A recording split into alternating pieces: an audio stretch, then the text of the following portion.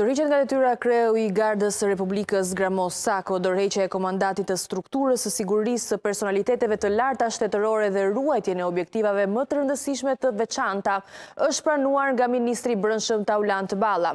Sako mbante detyrën e komandantit të Gardës së Republikës që prej vitit dy mijë e trembëdhjetë. Me ndryshimin e ligjit për gardën në vitin dy mijë e njëzet e një, ai mori gradën drejtues madhor. Për momentin ende nuk dihen arsyet e dorëheqjes.